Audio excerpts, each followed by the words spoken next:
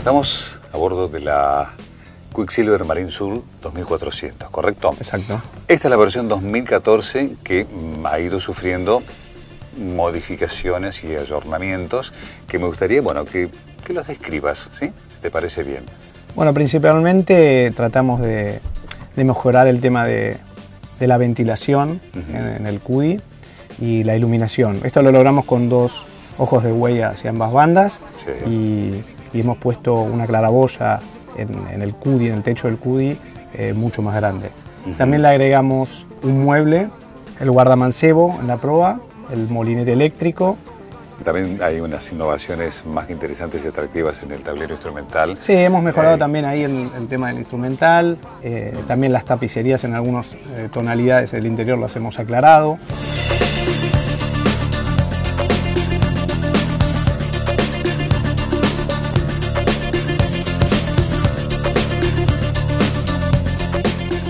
El diseño de la embarcación desde afuera. ¿A qué conceptos responde? ¿Americanos, europeos? No, son marcadamente americanos, ¿no? Es una, una lancha rápida, deportiva, con líneas americanas muy marcadas. Estamos navegando con una potencia mm, más que razonable y con una eficiencia eh, más que óptima. Eh, háblame del diseño del fondo entonces. Bueno, el, el fondo tiene una marcada B, Eh, hacia la popa quizás es un poco más plano, para que una vez que esté planeando eh, ayude a que quede sustentada. Sí.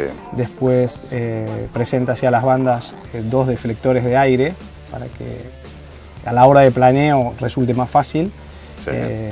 El fondo del casco, las líneas son totalmente simétricas.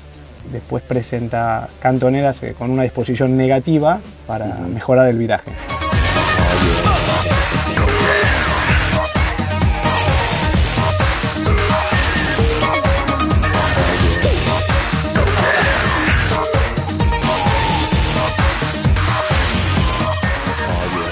¿Cuál es la potencia mínima con la cual la embarcación ya navega y, y la máxima potencia permitida?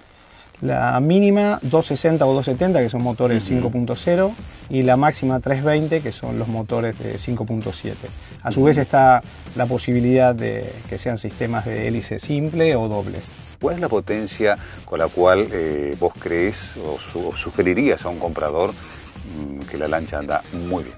Yo creo que la performance óptima se da con un 5.0, un 260 o 270 Ujú. y con el sistema Dual Prop o Bravo 3 que representan el sistema de doble hélice. Correcto. Yo creo que con eso ya es más que suficiente.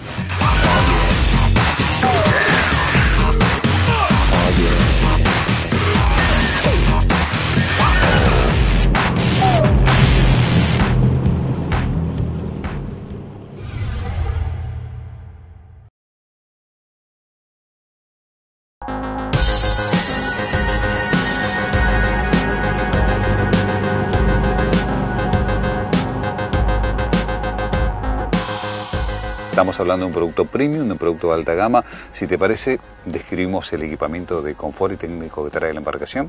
Bueno, tiene molinete eléctrico con todo el kit de fondeo, eh, guardamancebo, colchonetas de, en el solarium de proa, Sí. ojos de Way, presenta, ahora fue lo que le agregamos últimamente, es un mueble en la parte del CUDI y una toma de 12 voltios. Y después en la parte del copy, bueno, tiene alfombras, tiene equipo de música con cuatro parlantes, ecosonda, todo un instrumental relacionado al motor, tiene un lavamanos, toldo para sol y después tiene una plancha extendida de unos 60 centímetros con un, duchador y una baulera para todo el tema de- de las cosas mojadas.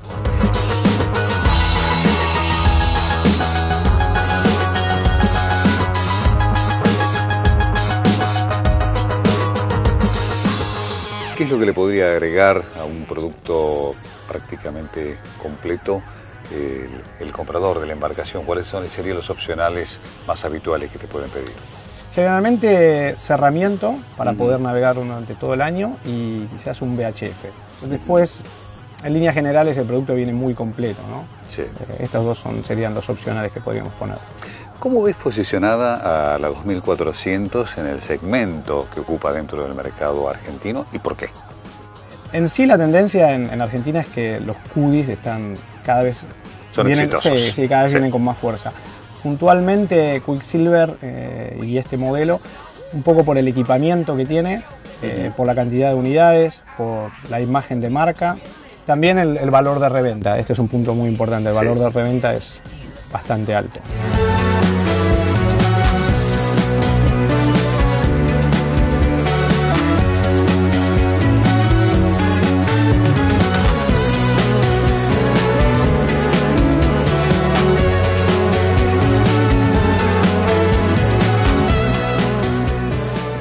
Santiago, ¿cuál sería el público eh, al cual está dirigida la 2400? Bueno, es eh, el nicho específico, sí, hay un target que es, eh, es, un producto de alta gama, es un producto premium.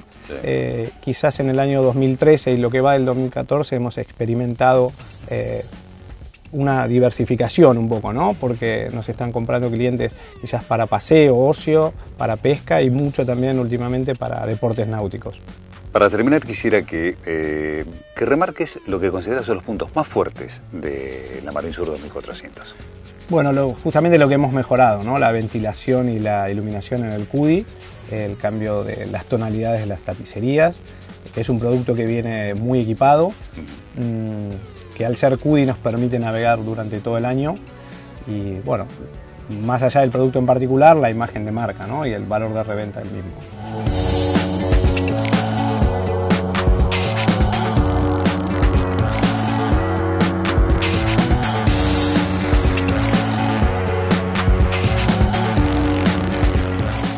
Santiago, quiero agradecerte la facilitación de esta unidad para la prueba y evaluación en Esloras, tus conceptos, la mente que nos has abierto con todo lo que nos has dicho respecto del producto y hacerte entrega, como siempre, de nuestro obsequio, que son unas gafas de Unión Pacific. Bueno, muchas gracias Horacio por la invitación y hasta la próxima. Hasta la próxima. Enseguidita nomás, no se vayan las conclusiones.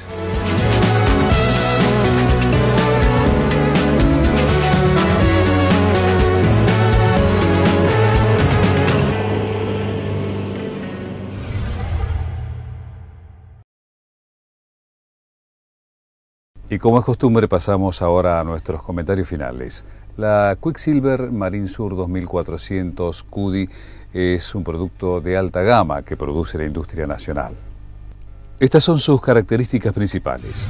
Tiene una eslora de 7 metros 32 a 7 metros 92, esto es sin y con la plataforma, una manga de 2 metros 59, el puntal es de 1 metro 20, el peso total de la embarcación con motor es de 2.400 kilogramos.